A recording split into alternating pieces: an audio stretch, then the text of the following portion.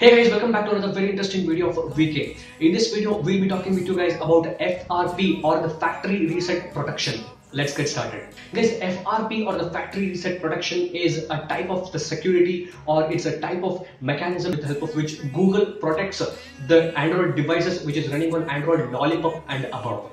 So FRP means what? Let's consider an example in case you have lost your smartphone or uh, you have kept your smartphone somewhere and just forgot you're not finding your smartphone like that. In case you lost your smartphone, the thief can factory reset your smartphone by using the fast boot method or using the recovery method and start using your smartphone like a normal smartphone. In order to make sure he doesn't log into your smartphone, the Google has used this factory reset protection on Android devices which is running on Lollipop and above. The FRP means what it happens is once the thief has factory reset your device using any method, once he tries to set the smartphone as a new smartphone, he tries to log in. He should log into the smartphone using some other Google account. But once he tries to log in or set up this smartphone as a new smartphone, what happens is Google will automatically block the thief by giving out a pop-up message showing that this device has been reset. Please log in using the previously used email ID that was synced with this device. This is one of the methods by using which Google protects the user data on the Android devices. But this method can also occur if you have purchased the smartphone from someone else legally.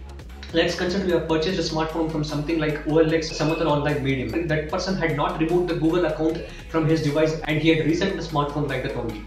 Now you purchase a smartphone and you try to enter your new credentials for Google account and start signing in. In this process, what happens is Google blocks you and it tells please log in using the old Gmail ID. If you don't log in using the old Gmail ID and that process of signing or setting up of that smartphone will be stuck in that page only. So this is known as the factory reset protection lock. But now I'll be telling you guys how you can bypass that factory reset protection lock using the fast boot method. If you want to enter the fast boot method of different devices, I'll be giving the links in the description for how you can go to the fast boot of different devices. The second important thing is after going into the fast boot, what you have to do. That also I'll be explaining you guys in detail and I'll be telling you now how you can make sure you bypass that factory reset protection and easily use your smartphone as a new smartphone.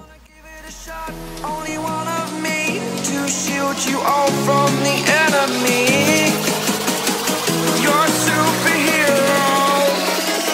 You're superhero.